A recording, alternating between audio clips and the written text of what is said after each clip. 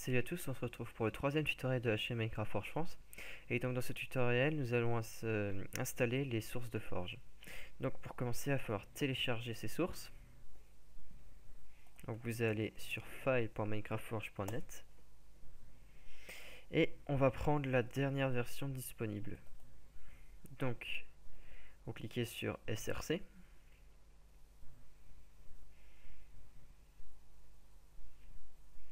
On attend les 5 secondes, puis on passe l'annonce. Et le téléchargement des sources forge devrait être normalement très très rapide. Alors, vous allez dans votre dossier, enfin dans un dossier de votre choix, donc moi j'ai créé un dossier modding ici. Et on va extraire l'archive de forge à cet endroit là c'est parti, 7zip, extraire ici. Et merde, j'ai fait une connerie, j'aurais pas dû faire ça. Bon, là ça a annulé la copie. Euh, ça, ça vient de Forge ça aussi, ça aussi, ça aussi, et ça aussi. Donc plutôt que faire extraire ici, vous faites plutôt extraire vers forge SRC, voilà. Ça sera mieux. Comme ça, ça ne fout pas de bordel dans votre dossier actuel. Et donc on va pouvoir euh, directement coder là-dessus. je vais juste le renommer forge 1.7 euh, tout court. On ne va pas mettre la version de forge. Tout simplement parce qu'on va voir que la version de forge peut être changée très facilement en modifiant une variable ici dans le build.grad. Euh, là, il vous suffira de modifier cette variable par autre chose. Donc là, par exemple, si je remplace euh, ça par euh, ce qu'il y a là, ici le 32, et que je lance le l'installation des sources de forge, il m'installera une autre version. Donc pour les mises à jour de forge, c'est fait en deux secondes, juste en changeant cette variable. Voilà. Euh, sachez que pour une jour de forge, en mettant à jour cette variable et en relançant, donc pour mettre à jour forge, il suffira juste de relancer les deux commandes qu'on va voir ensemble. Euh, ça ne supprimera pas les sources de votre mode. Voilà, donc pour lancer l'installation de forge, double-cliquer sur le gradle.bat, donc gradlewarper.bat ne fera absolument rien. Donc il faut ouvrir un terminal. Le mieux et le plus simple et le plus rapide, vous appuyez sur la touche Shift gauche de votre clavier et là, vous devrez un petit raccourci en plus par rapport au, Shift, euh, enfin au clic droit. Vous avez ouvrir une fenêtre de commande ici. Voilà, et ensuite vous êtes directement dans le dossier euh, de Forge. Sinon, vous pouvez toujours ouvrir manuellement le CMD. Puis vous déplacer dans le dossier comme ceci, CD, déplacer, glisser, poser et merci, ça n'a rien fait parce que je suis en mode administrateur. Invite de commande. Voilà. Comme ceci.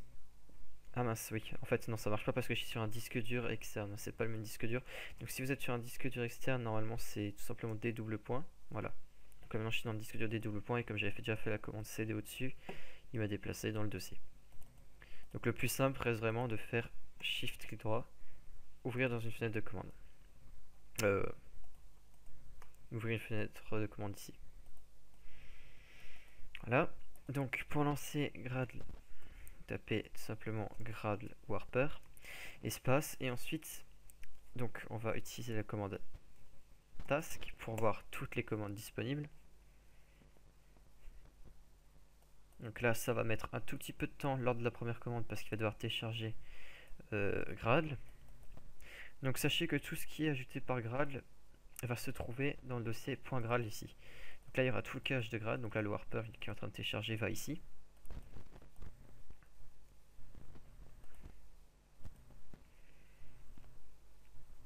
Là il vous met plein de points, c'est le temps que ça télécharge. La première fois est longue, ensuite ça ira plus vite.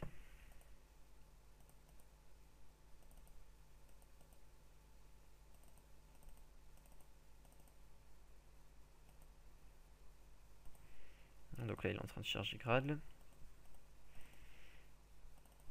là il y a le cache de grade, donc les sources de forge se trouveront ici. Si jamais vous avez des problèmes, vous avez besoin de faire un clean total, il faudra supprimer dossier.grade. C'est plus simple pour faire un nettoyage total. Sinon, il y a aussi la commande euh, grade espace clean. Donc là, on va, on va bientôt avoir la liste de toutes les commandes. il est en train de télécharger toutes les dépendances du projet.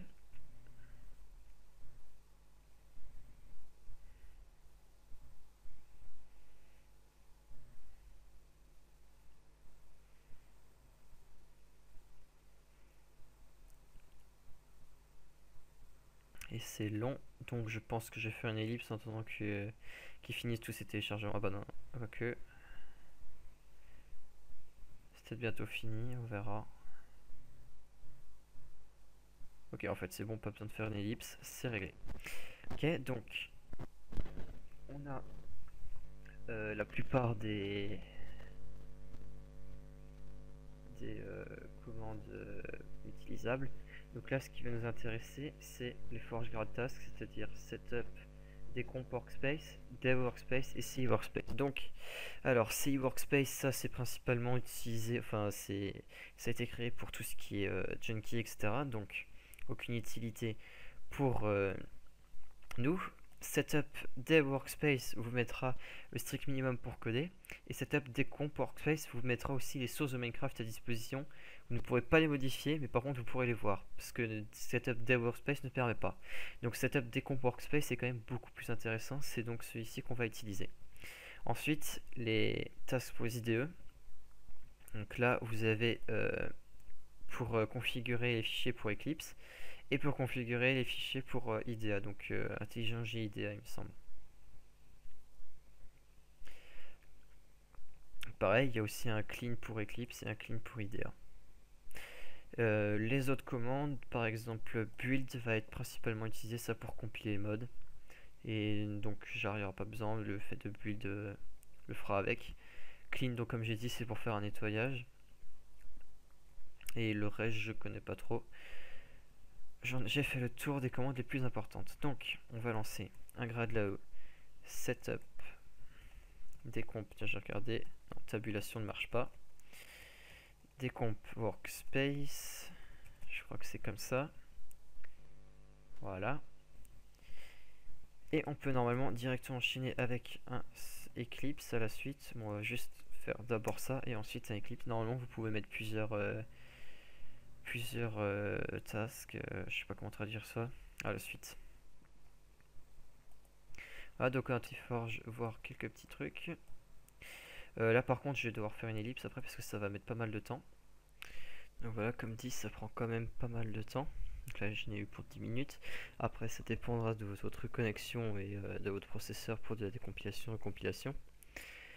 Euh, les petites erreurs qui sont là, enfin c'est juste des warnings, c'est pas grave, c'est parce qu'on a Java 7 alors que pour l'instant Minecraft est toujours compilé en Java 6. Donc vous laissez, ça ne cause pas de problème. Et donc maintenant on va lancer Gradlow Eclipse. Et là c'est parti, ça va nous mettre du temps, donc je vais refaire une... Alors sous Linux ça va être à peu près la même chose, donc vous pouvez utiliser votre terminal que je vous ai conseillé d'installer. Et donc là, en fait ça va être exactement la même chose, sauf que ce ne sera pas gradlow, mais point slash gradlow. Voilà. Et après les commandes sont les mêmes. Donc setup, decomp, workspace, et ensuite Eclipse. Bon là je vais pas le faire parce que je l'avais déjà fait sur cette installation. Euh, pareil, si vous avez pas euh, cette, euh, ce module, je vous conseille d'installer, vous aurez manuellement terminal. Et vous vous déplacez dans le dossier, comme ça. Et ensuite on lance point slash gradlow, puis avec les arguments voulus, voilà. Et sous Mac, ça va être exactement la même chose, point slash, et c'est la même chose d'ailleurs pour tous les systèmes Unix. Voilà, donc on se retrouve de nouveau sous Windows.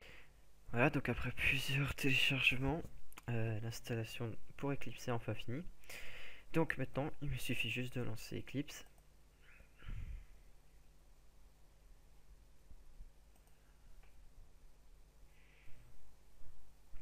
Et donc de choisir comme dossier celui qu'on vient de créer. Donc sur mon disque local D, dans mon dossier modding, Forge 1.7.2 Et donc là j'ai mon dossier Eclipse, je sélectionne et c'est parti.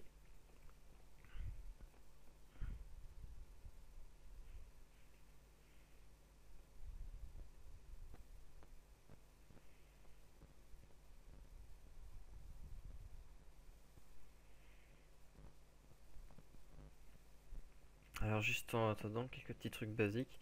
Donc il faut savoir qu'avec ForgeGrad, il y a un gros avantage par rapport au script Python d'avant.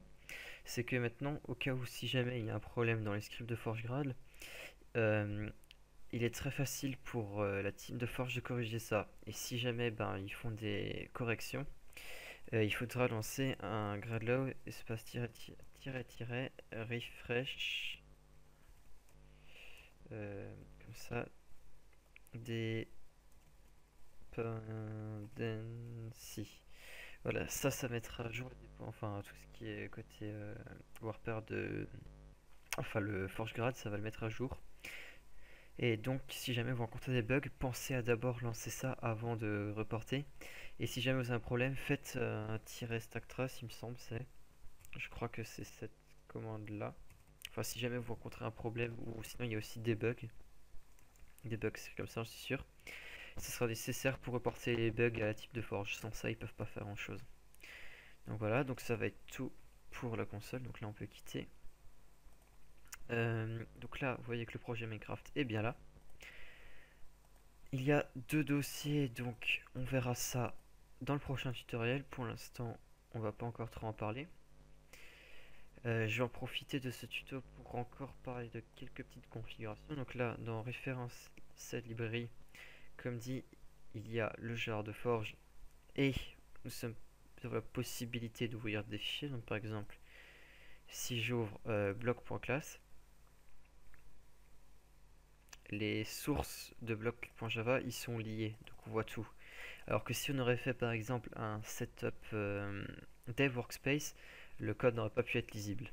Donc d'où l'avantage d'utiliser setup decomp workspace parce que vous verrez que quand code, on récupère souvent des fonctions par exemple, quand on veut faire un bloc custom, euh, je sais pas, on va dire, euh, vous voulez faire plusieurs icônes, vous aurez besoin de la fonction register icône. Et donc, pour la syntaxe exacte, le plus simple, c'est de la chercher ici. Donc, euh, pour ça qu'il est plutôt utile de télécharger, enfin, de faire un setup decomp workspace plutôt qu'un dev workspace.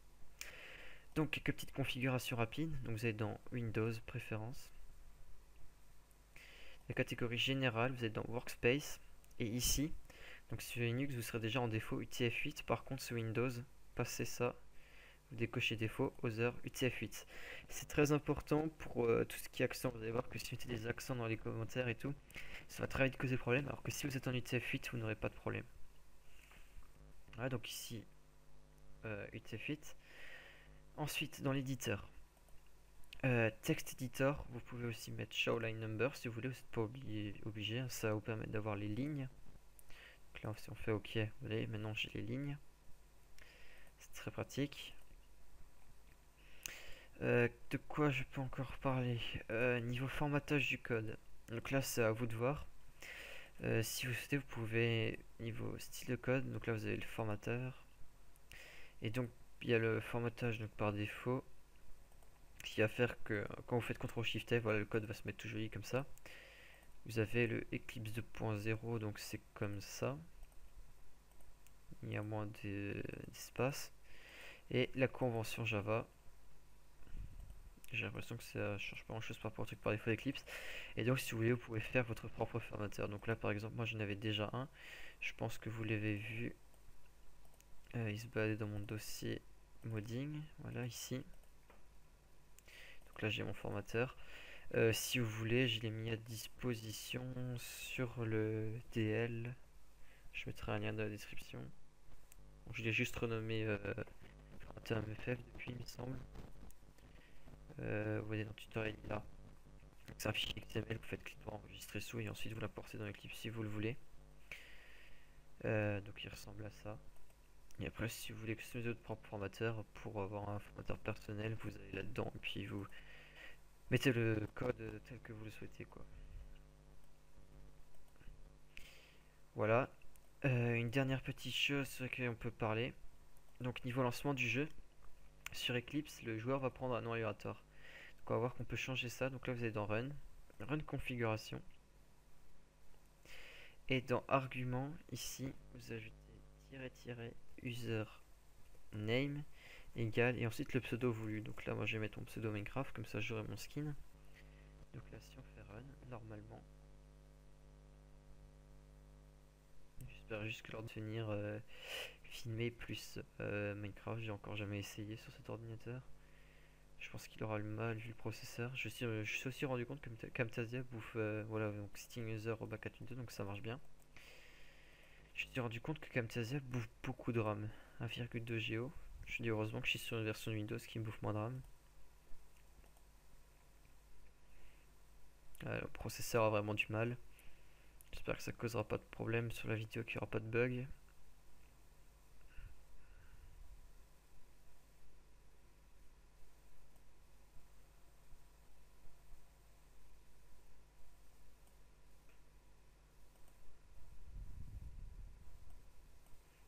donc le jeu fonctionne bien.